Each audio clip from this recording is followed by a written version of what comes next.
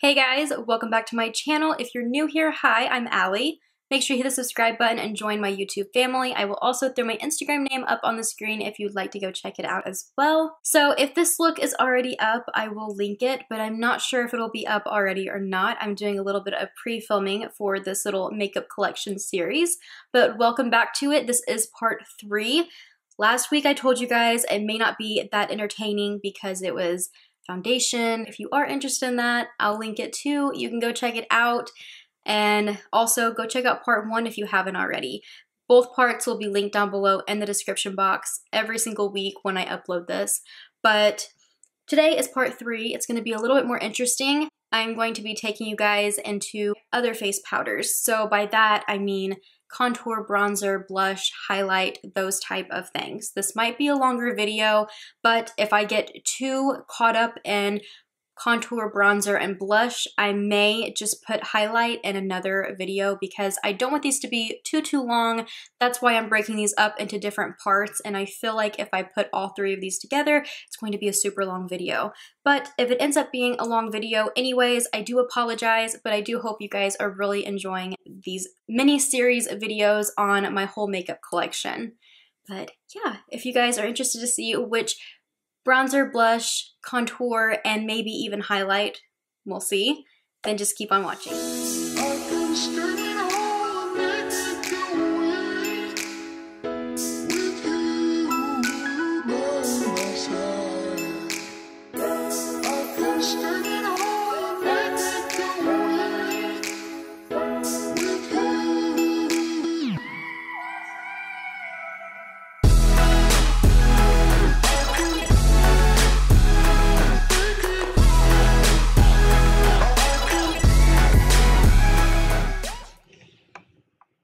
So today we are going to be jumping into bronzers, contours, and then blushes.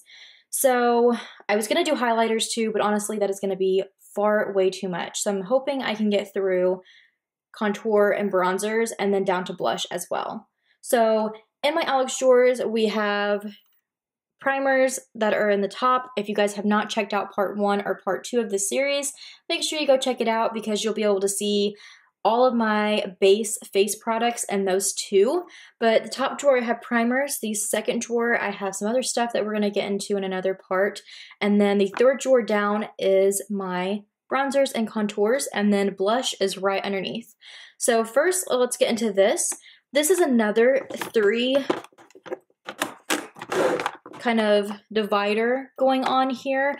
I did find this at TJ Maxx as well. I do know that. Some of these I know, and I'll let you know if I do know. I know, I just had a friend's moment there. But this has been super handy for dividing certain things in the store and I really do like that. I feel like it's starting to get a little out of hand especially like with all of these palettes that I have going on because if you see it there is actually quite a lot stacked up back there as well.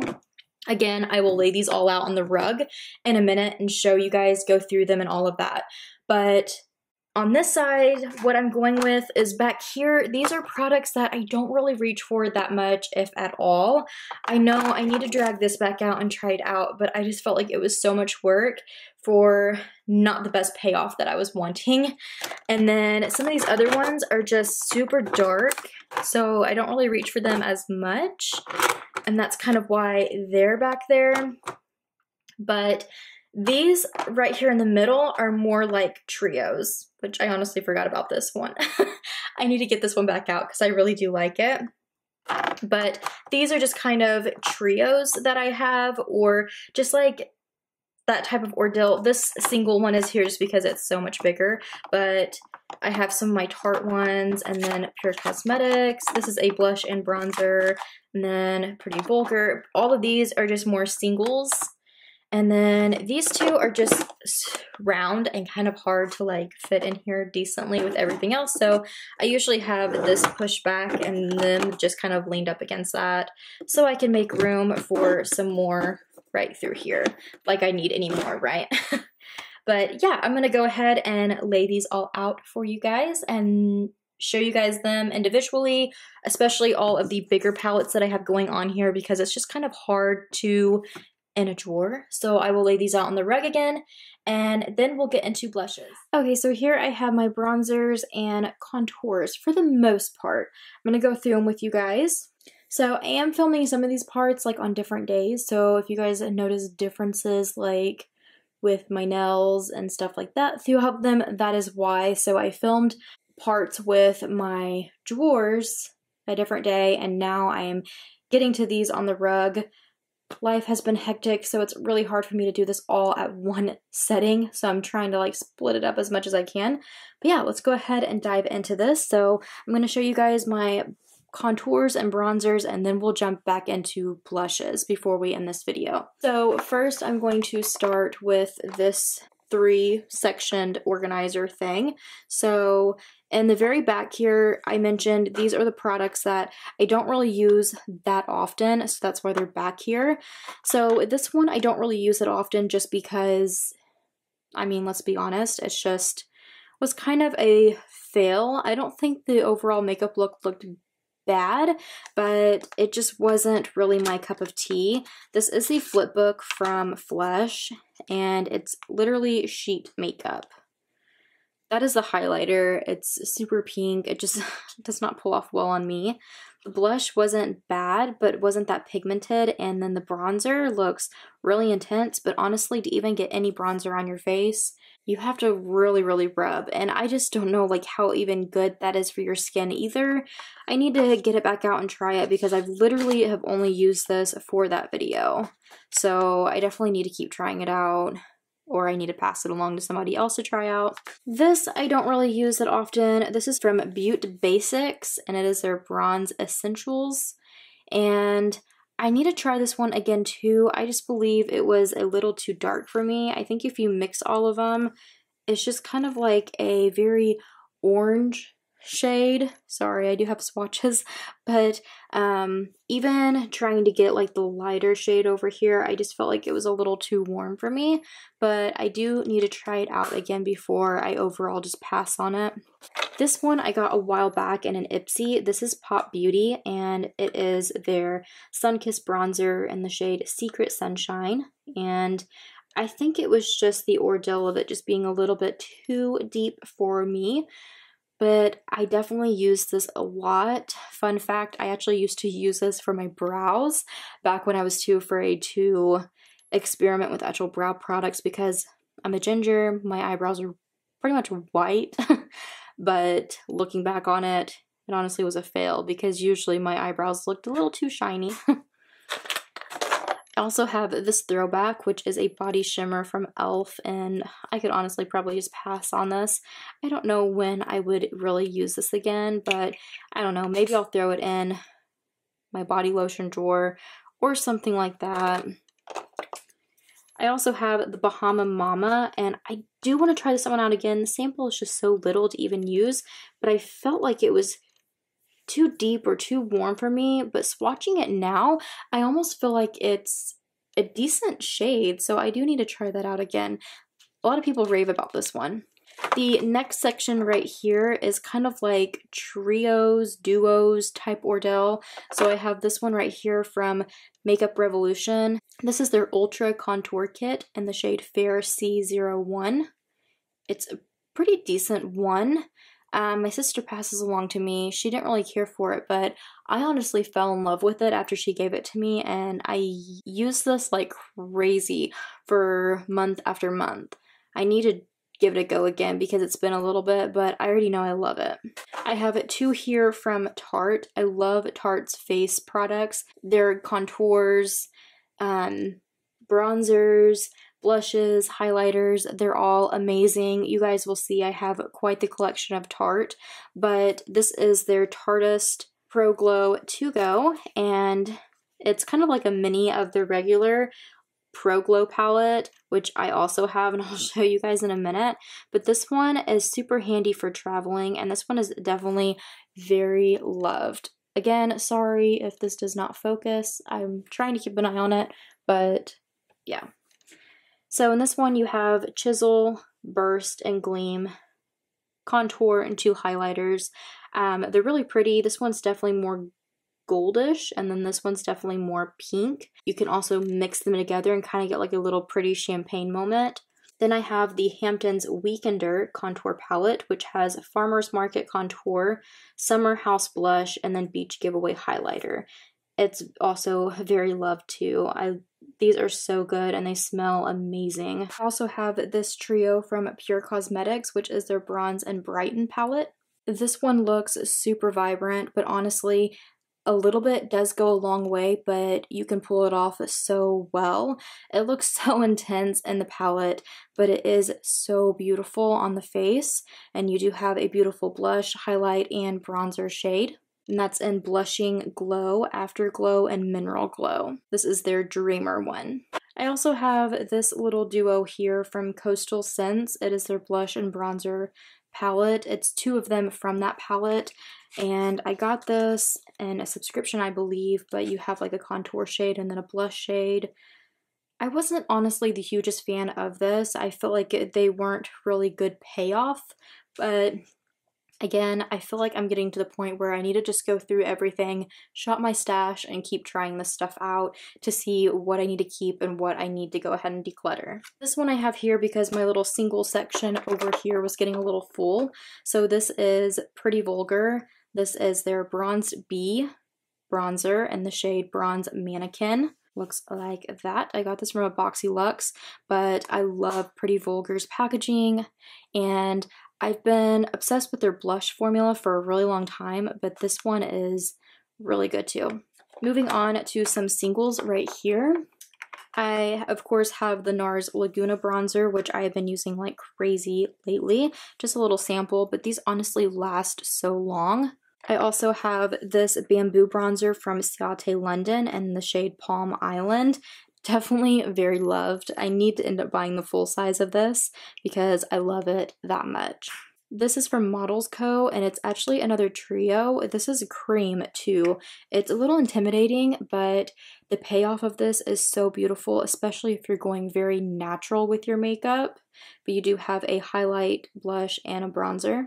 And that's in the shade Champagne, Peach Bellini, and Bronze. I have my Morphe Bronzer in the shade Glitterati.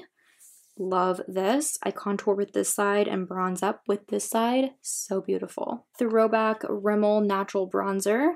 And this is the shade Sunlight. I have a Tarte Amazonian Clay Bronzer in the shade Park Avenue Princess, I believe. Yes. This one is beautiful. This is from Pixi by Petra, and it is their beauty bronzer in the shade Summertime, and that's what I love it for. This is a beautiful bronzer for the summertime. I have my Urban Decay Beached Bronzer in the shade Sunkissed. This is a little warm for me, but super beautiful in the summertime as well. I have my original Hoola, my Hoola Light, which is very loved, and my Hoola Quickie Contour Stick. And then I also have this little Manna Kadar Beauty duo of a bronzer and a highlight. Everything from this. Now I'm going to get to my actual contour face palettes. So I do have a couple of these round ones. I have one from Wet n Wild. It is their contouring palette. This is supposed to be a good dupe for the Marc Jacobs and although I don't have the Marc Jacobs, I really do like this one. I don't necessarily use this light side, but the contour side is really nice. It's a good cool tone one.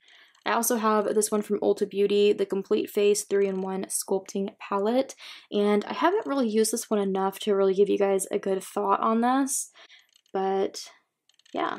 Okay, so I have the Tarte Park Avenue Princess Contour Palette. This one is just filled with contours and I did get this in a subscription, but I honestly wanted to buy it. I'm not gonna lie. It's a beautiful palette. I think I'm won over by the packaging more than the actual product though. I feel like if you're a good medium skin tone, then buy this because you can literally use all of these shades. Even a little bit deeper, you could too, but for me being so pale, I feel like a lot of these can be a little too warm on me. I need to try them out more this summertime with some fake tan on, but as for now, I can definitely kind of brighten up with these two, but I kind of go for angle right here, and it's almost a little too warm, but these other ones are even warmer, so it's kind of hard for me to get a lot of use out of this palette, but it is a beautiful palette. Next up, I have the Nude Rose Sculpt and Glow Contour Highlight and Blush Palette from BH Cosmetics. I've had this one for a while and it's really pretty too. You kind of have a banana powder, um, a blush, contour shades. I, of course, use Cool Tone and kind of like a bronzer slash blush. It's a little peachy looking. And then a pink highlight. I mainly used to use this for the banana powder and that Cool Tone bron contour, pretty much Cool Tone contour. That was really good. I still feel like BH is such an underrated brand. And even from myself, I used to buy BH all the time, and I definitely need to check out some of their newer stuff. I have my very old now Kat Von D Shade and Light palette. It has been through it for sure, but this over here is a mess because when I got this palette, this one was completely shattered, so we kind of had to repress it. Thankfully, I don't actually use it. I use the shade over here, which is subconscious and then levitation is really good for brightening my face, but I also use that banana powder in the middle, which is Lyric. It's pretty good too. Um, I don't use this palette as much anymore, but it definitely is a really pretty contour palette, and I mean, so many people are going to tell you that. I also have the light to medium contour kit from Anastasia Beverly Hills.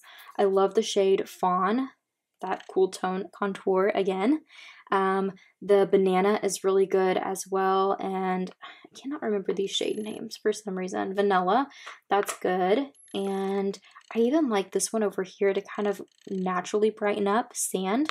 You guys may have seen my video on this. This is Ashley Tisdale's Illuminate Cosmetics Glow Up Palette. I got the purple cool tone. It has Turn Up Bills, which are kind of like highlighters, and then GNO and Squad, which are the bronzers in the palette. Super pretty. I also have the Urban Decay Naked Skin Shapeshifter palette. This one's really cool because it has a mirror down the middle on both sides. You have a cream side and a powder side. You have warm, cool tone, um, brightening powder, highlight, which is a beautiful highlight. Um, this cream contour, which looks darker, but I can honestly pull this off really well. I like to go in with a round top, like small definer brush, super pretty. And I haven't played around enough with these other ones. The highlight cream is okay, but not like anything too, too amazing. I like the powder highlight a lot better. Then I have the Pure Sculptor palette, which I love. These shades are intimidating too, but I of course use the top two, which is Inventor and Originator. And I mean, you guys see that highlight? This is from Glow Minerals. It's their contour kit. A family member gave this to me, so I don't really know where you can even purchase this, but it is a really good palette. I use the cool tone, and these shades up here are really nice too to work with. I try to use it more off camera just because I'm not really sure where it comes from. I don't know if it's the type of ordeal where it's like Mary Kay, Avon, or something like that. I'm not 100% sure, but the last two face palettes I have is my Tarte Tarteist Pro Glow and Blush, and then the original Tarte Pro Glow, which has been through it. This is such a good palette for me. This one has four highlighters and then a cream and a powder contour, and I like both of the contour shades, but I do stick to mainly Strobe and Stunner. I love Strobe. It is so beautiful. Stunner is a very beautiful highlight too, though. These two, Lit and Fire, are definitely beautiful. I just can't really pull them off on my pale skin, but this palette is definitely one of my favorite pieces that I have in my whole collection. I love it. Pro Glow and Blush is good too, but definitely not as good as the original. You kind of have like a bronzer going on, a highlight, and then blushes. Super pretty. The blushes are really pretty. I just feel like it's a very vibrant palette, so you have to go very lightly with it.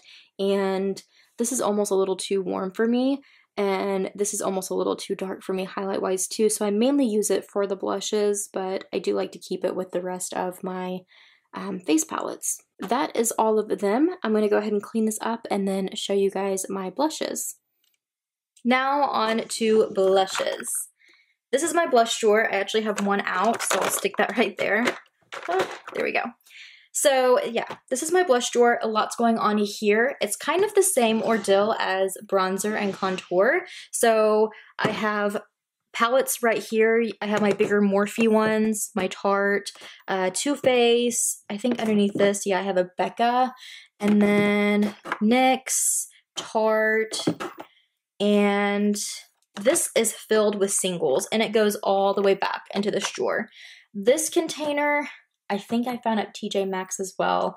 I'm honestly not 100% sure, but I have tons of singles in here, but also like, you know, these Anastasia blush trios because they just fit so good right there. But then I have some ColourPop, Tarte, Pixi, Note, uh, Pretty Vulgar, NARS, e.l.f. It goes all the way back. So I'll show you guys in a minute.